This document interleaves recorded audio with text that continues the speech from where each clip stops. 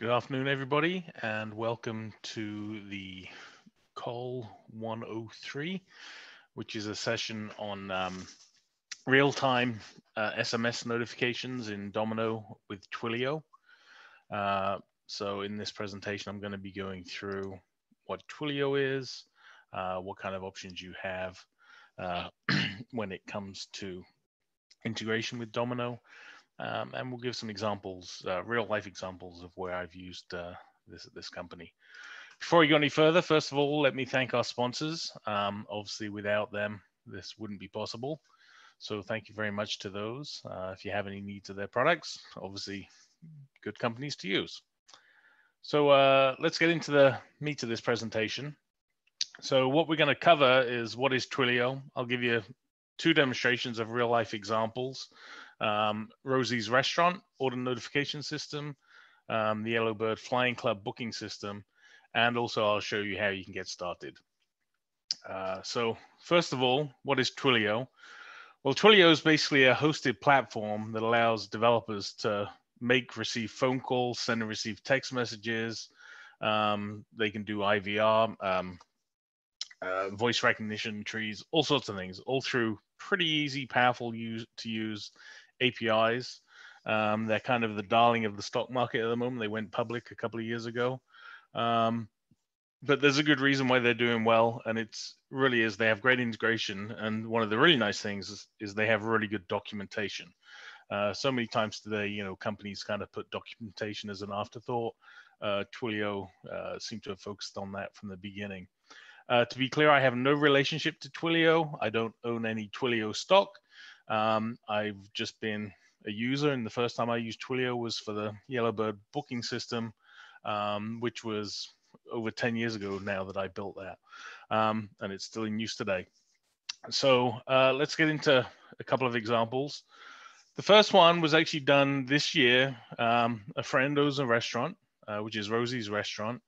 Um, they, like many restaurants, were impacted by COVID 19. Uh, they were forced to close for for a month or so. Um, and then when they were allowed to reopen, the only thing they could do was a takeout pickup window service. Um, now they only had like a single window for people to be able to pick up uh, their food when it was ready. So what they wanted to avoid uh, was people kind of grouping together, clumping together outside whilst waiting for their food. So um, I was chatting to them one day and, and I said, well, we could do a notification system where we send a text message um, to people when their order's ready. Um, and, you know, and I said, I go using Twilio and Domino and kind of build it in a weekend. And that's pretty much what happened. Um, so the solution uh, that we built um, is a web-based order entry system. Uh, I designed it for the iPad. Um, the wait staff that are taking orders and letting people know the orders are ready, they know how to use their point of sale system, which is push button system. Um, most of them don't really have a clue how to use the internet, to be honest. They know how to get their email on their phone and they know how to use TikTok.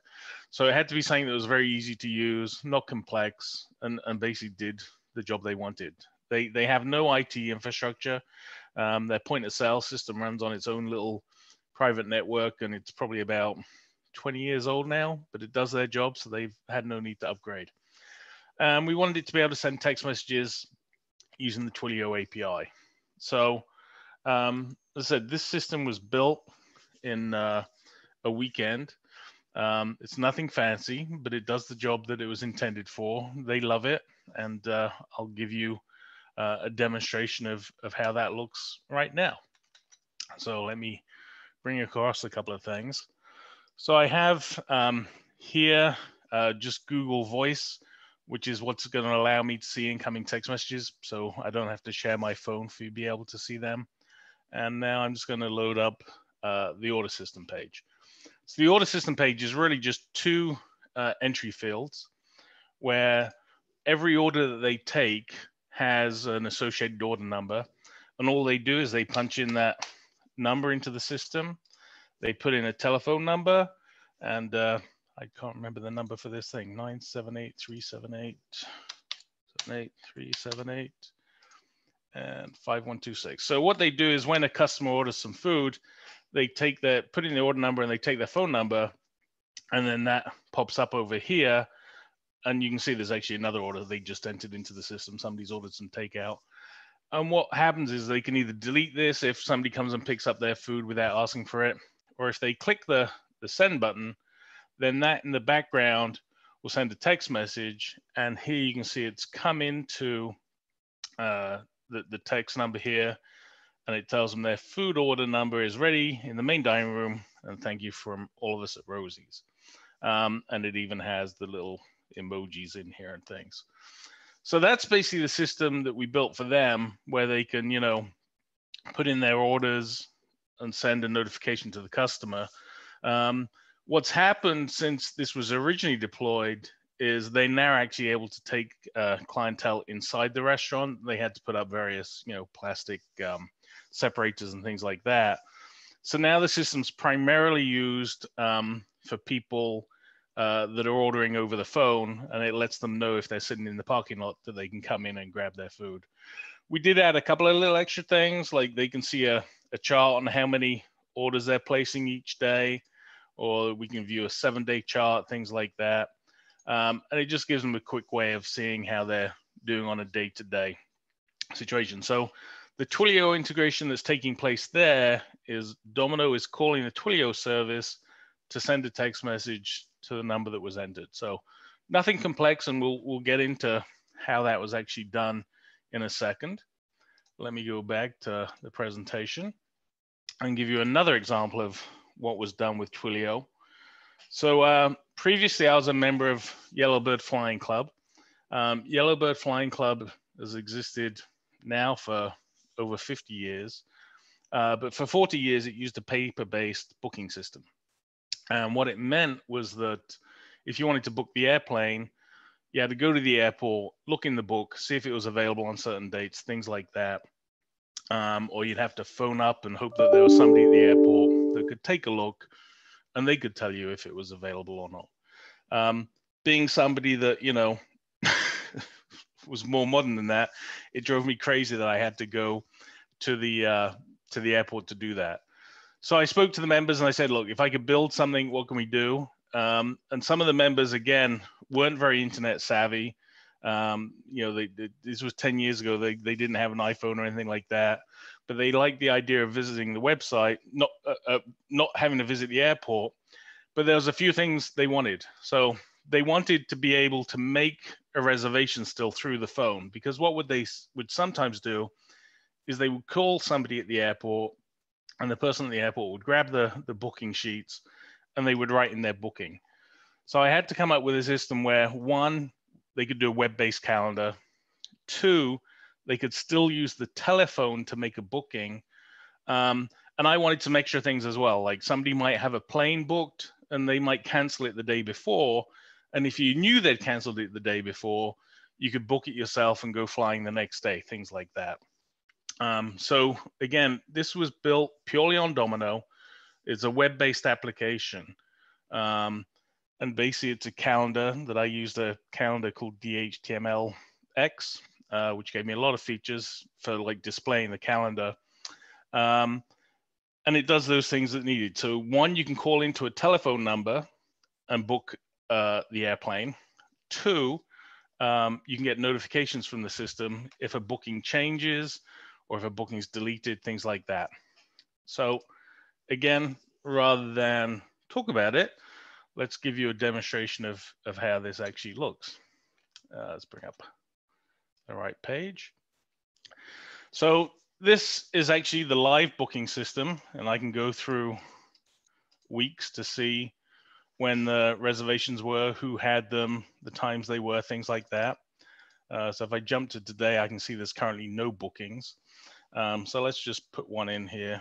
Actually, that let's put it a little later. Um, I'm going to call it Twilio demo, and that's in there. And I can you know move this appointment around. Um, I'm just going to add another one here and save that. Now, if there's a booking if I click on it, you can see they get these options, which are things like viewing the details, deleting the booking, or setting up notifications. And if I set up notification options, I can say, you know, notify me when this is deleted, notify me when this is changed. I want to get an email and also send me a SMS message. So I'm going to hit save on that. So now if I move this appointment, just say move it a couple of hours further forward, then what will happen is that will send a notification message. And here you can see it's come in and it says automated Yellowbird notification, booking for Carl Tyler on this date, changed from this to this. And what that allows me to do, if I was the person that didn't have the plane booked and I wanted to say, oh, I wanted it at uh, three o'clock, it's now available, I can go get it. And the same thing, if I delete this, I can now get a notification, should come in, there we go, saying that I deleted that appointment. So that's great. And that's again powered by Twilio send SMS notifications. But one of the things that Twilio can also do is interactive uh, voice uh, menu systems. So let me make a telephone call to the Yellowbird booking system. And this is all again back-end by Domino. Welcome to the Yellowbird scheduling system. Press 1 to and hear today's schedule. Press 2 to book the airplane. Press 3 to hear, hear tomorrow's the, uh, schedule. Press 4 telephone. to hear bookings for a specific day. Press okay. 5 okay, to hear the P's ATIS. So let me let me call that back again and then I'll explain what's going on. So I'm going to call this and I'm going to bring up a keypad because I'm going to enter Welcome to the Yellowbird scheduling system. Press 1 to hear today's so schedule. Press 2 one. to book the app. Retrieving today's schedule. Carl Tyler, 7 p.m. to 10 p.m. Press 1 to hear okay, today's so schedule. Press now 2 to book the airplane. One. Press 3 to hear tomorrow's save. schedule. Press now 4 back, to hear bookings for a specific day. Press again. 5. Retrieving today's schedule. Carl Tyler, 7 p.m. to 10 p.m. Carl Tyler, 10 p.m. to midnight. Press 1 to hear today's schedule. So somebody can check the schedule um, just by calling in, but what about booking it? So each user in the system has their own PIN number. And what they can do is they can call in. And one of the options is to Welcome to the Yellowbird scheduling system. Press 1 to hear today's schedule. Press 2 to book the airplane. Press 3. Please enter your PIN. Welcome, Carl Tyler. Please enter the month followed by the day. For example, February the 6th. You entered Sunday, November 29th, 2020. Please enter the start and end time you wish to book the plane. For example, 9 a.m. to 3 p.m. Enter 0915. The booking was successfully made. Press 1 to hear today's so I schedule. Made a booking Press there 2 for the to book the airplane. Press 3 of, to hear tomorrow's um, schedule. November. So let's go over here and uh, look at the 29th of November. And November 29th, there is that booking that we just made. Um, so that's a Domino backend database interacting through Twilio um, and a, a voice uh, menu system, and I'll I'll explain how that works a little bit as well. So I'll go back to the slides. Okay. So how do you get started uh, with Twilio? So the first thing you need to do is sign up for an account. Um, you can get a free trial account with them uh, where I'll actually give you like a free trial number uh, and you can get started. Um, this link here is actually a referral link. You don't have to use that, but if you do use it, I'll get a $10 credit and you will get a $10 credit as well. Uh, you're going to sign a telephone number and they're going to give you uh, an account SID and an authorization token. And you're going to need those when you come to uh, using their SMS services or other services uh, within the application. So what I'm going to show you now is just a really simple Lotus script um, page that's just going to send a text message. It's not going to do anything else but send a text message. Um, and if you get hold of this presentation, I didn't put it in his images. I put it in his text because it's always nice to be able to cut and paste versus having to retype things in. It takes you back to the 80s when you're trying to type in that Commodore 64 program and uh, you miss a letter or a character. So this page, all we're doing is just defining the variables. And there's a few obvious ones, which is there's the to number that you want to send the SMS message to. There's the text message itself. Um, there's a URL, which is the Twilio API service. Um, and you need that and uh, includes things like the version number uh, of the Twilio service you're doing. Um, the request, which is basically a combination of the, the to number, the message, uh, the from number, things like that. Uh, then you've got your Twilio authorization uh, code, which is a combination of your account SID and that auth token, because you'll be doing basic authentication using that. Um, and so we're just going to put those in variables. Um, and I've changed my account SID here and my auth token so that you don't go using my account. But basically, we're just going to assign some values now to um, those those variables. So we've got the Twilio code version, which at the moment is 2010-0401. And the reason why they have this code version is if they change things, your URL can still be calling the old version and still be working, so it doesn't break a service that you may be using. So for example, uh, the booking system, which I said I wrote 10 years ago, I hadn't touched that for about eight years until they finally got to a point where something they deprecated uh, they, they finally stopped supporting that eight year old version of code. And I just had to go in and change the version number uh, and change one of the values they used. Um, the from number is the number associated with your Twilio account. Um, and you can select numbers from you know, different parts of the country. My account SID and my authorization token, and then I combine that into a string called Twilio authorization which combines the Twilio account SID and the auth token, and it encodes it with base64. Um, the encode base64 function here I used, um, you can just find Lotus script ones uh, all over the internet for that. It's, it's nothing fancy. And then the number I'm going to send it to, and then the Twilio message. And you may be wondering what's the percent F0, percent 9, and all that sort of stuff. That's an emoji for a, for a globe, for a world uh, icon. Um, and I'll give you a URL at the end where you can kind of find the hex codes for different emojis. So then the final part of the code is using the um, fairly new uh, create HTTP request that came with Lotus script. Uh, we're going to create um, a web request from the notes session. We're going to add the headers, which is we specify a content type of uh, application www form URL encoded and then we send the then we send the authorization set the authorization header as well. So that's putting in that basic and that encoded uh, base 64 text. Then the URL we're going to call, and again, Twilio has great documentation on the different URLs and things that are available for their APIs, is a combination of the Twilio API URL, the code version that I already mentioned, and then my Twilio account SID. And because we're sending a message slash messages, and then the final part is the actual request that's going to get sent to that URL. And again, it's a built up string which contains the number I'm sending to, the number it's from, and also the body of the message. So that's that hello world with the little emoticon. And the final part is I'm just going to output to the web page um, what's going on. So indicate that I'm calling the HTTP post, the Twilio URL used, the request, and then we're going to actually send the HTTP request. And we're just going to print out the web request response code so we can see if it, you know, came back as a failure or was successful. So let me go over to another page and we'll drag that over here. And all I'm going to do is I'm just going to refresh this page, which is calling the agent. And if I go here, we can see a message has come in that says hello world. And you can see it's got the emoticon, the emoji uh, of the little globe symbol.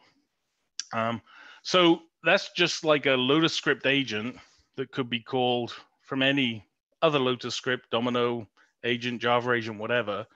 Uh, I use Lotus script HTTP post because it was just super simple, super clean, and it's really easy to demonstrate in this video what's going on there. Um, but they also have uh, helper libraries. So if you're familiar and use Java, they have helper libraries for Java that also make this very simple uh, with requests to send messages and things like that. So let me show you now, though, how the booking system worked, because that's a little different um, to the Lotus script just sending a text message out because it was having interaction coming back in. So let me bring up uh, Domino. And actually, we're going to go to Twilio, actually, because I'm going to show you what happens here. So I'm going to log into Twilio. Okay. Um, so within Twilio, when you set it up, you can get your different accounts, things like that, and you will get a number. You, you can get a telephone number assigned. And when you have a phone number, you can choose uh, what happens when somebody calls that number. So you can see this number here, my 938 number, has a webhook assigned to it. And it says, when you call, uh, when somebody calls this number, call this URL. So you can see it's a Domino URL. So if I actually go and paste this in, you can see what gets returned is actually just some um, XML. And this XML says, you know, it's a response. We're going to gather a number. And when we have that number that we've specified, in this case, it's going to be one digit, we're going to call another agent and we're going to pass that number to it. But you can see here there's commands, and let's just make this a little bigger. Oh, can't make that bigger. Um, and this is going to play some stored MP3 files that are stored in the database. And these MP3 files are what you hear when I call the system. So if I just move this here and this one here, and if I make a call to the system again, if you uh, listen, Welcome to the Yellowbird scheduling system. Press 1 to hear today's schedule. Press 2 to book the airplane. Press 3 to hear tomorrow's schedule. Press 4 to hear bookings for a specific day. Press 5 to hear the P's ATIS. And so what's happening is it's playing the MP3s from the server through the phone. So the first one was welcome to Yellowbird scheduling. Press 1 to hear today's schedule. Press 2. And so as soon as I press a return digit in that call, it's then going to call this uh, agent with that value passed. So I'm going to just copy this again. Uh, we're going to copy this over here. And uh, num digits, uh, we're going to say one. Oh, and uh, I probably passed, I've missed passing a parameter as what is. So let me go and actually just show you the code on what's actually happening here. So uh, the first agent was the welcome message. Come on, Domino server. Oh, this is the funky thing that happens where I have to hit control break to make it stop and then it'll connect straight away. Come on. There we go. So the first one was that welcome menu. And this is just, you know, uh, unexciting Lotus script code, which is I'm just gonna, it just prints out XML. But you can see it's got that response, the gather the number of digits, the agent that's gonna get called uh, with a post, and then the MP3s that it's gonna play. And it's gonna store a log of the call. So it, it, it tracks everybody that calls in and what they do. So the next one was menu selection. So here's menu selection. And it's just a simple case where it's, oh, it's digits it was looking for, um, where basically it gets the digits, it actually builds up what the date is today and tomorrow, so it'll be able to return the information. Um, and basically, if it's one digit that's pressed, it's going to play the audio of, you know, I'm retrieving today's message. And then when it redirects, it will return, in this case, uh, a notes view It's going to return XML, and it uses a start key and an end key of uh, today's date and tomorrow's date. So it will only return the bookings in that view for those times. And uh, Twilio will you know, understand that. So let's just open that view so you can see what that looks like.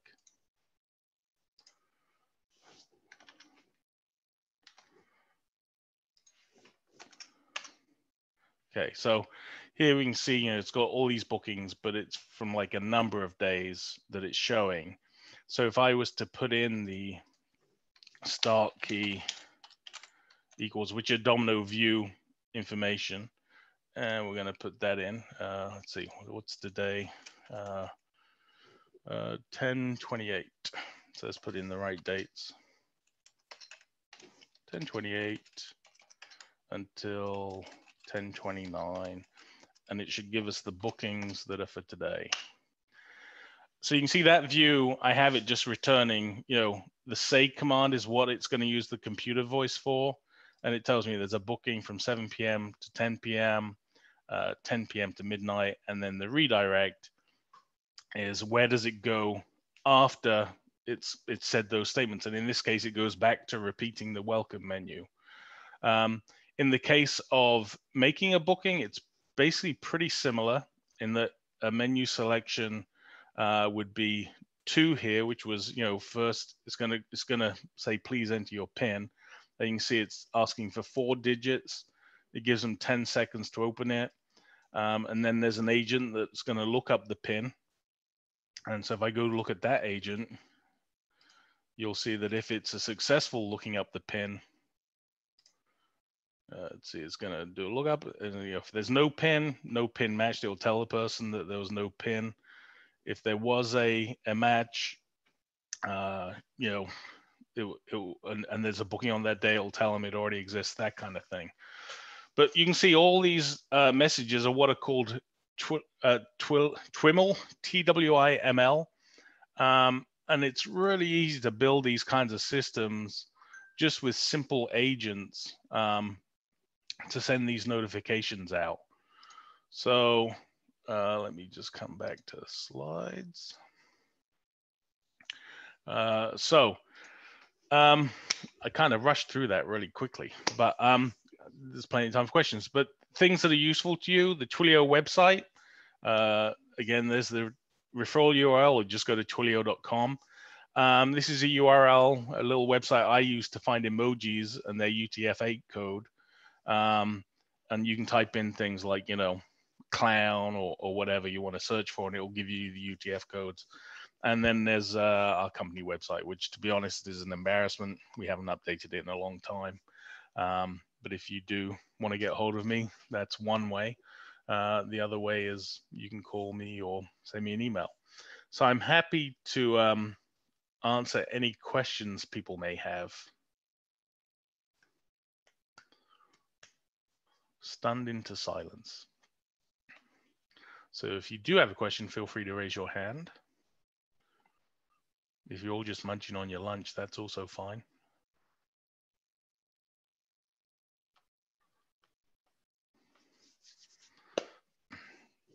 Did I mute myself 30 minutes ago and nobody's heard a word I said? Oh, um, I don't see any questions. No. Did uh, was that useful? Hands up. Not useful. Okay. Is the Twilio service? It's it's a charge. There's a charge of like. So Brian Cooney asks, is the Twilio service a charge per month or per call? So the way the Twilio service works is they charge you for the phone number, which is about one dollar uh, a month, um, and then they charge you per call or per text message. Um, so it's pretty cheap. It's less than like a penny, I think, for for sending a text message. Um, and one of the nice things is if you're like a, a, a vendor or a developer and you have customers you want to do this for, you can create within your Twilio account kind of different numbers and things, and you can associate a different credit card with each of those numbers.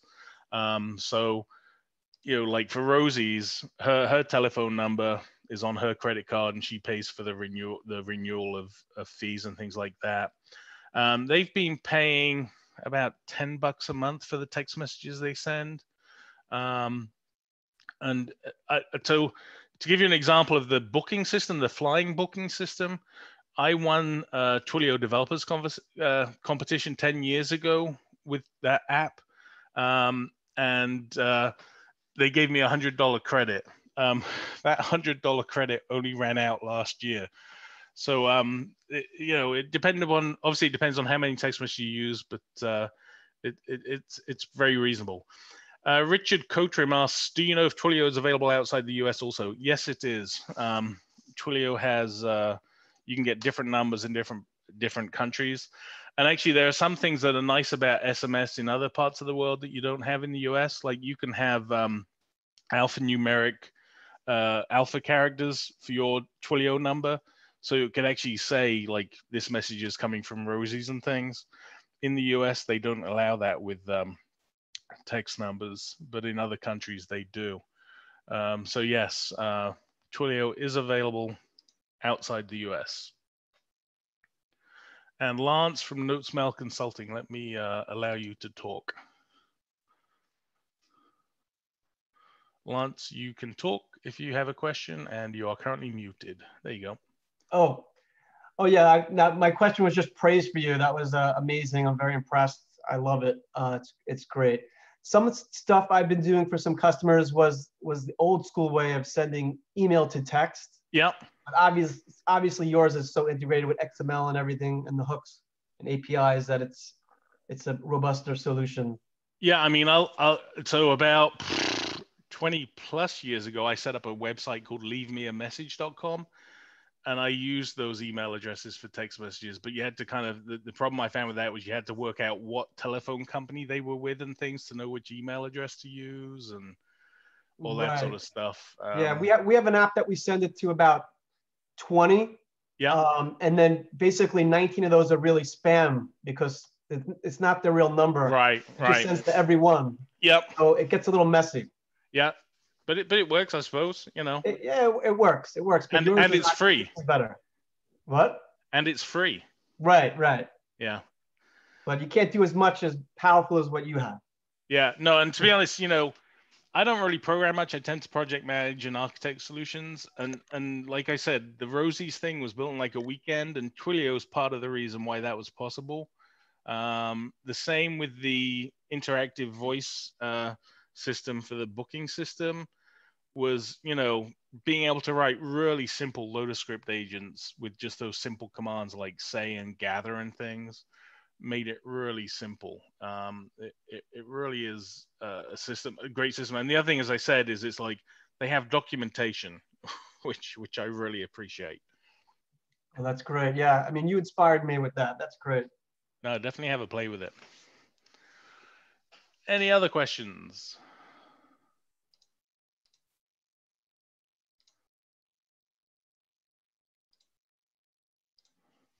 Man, I sped through that like crazy.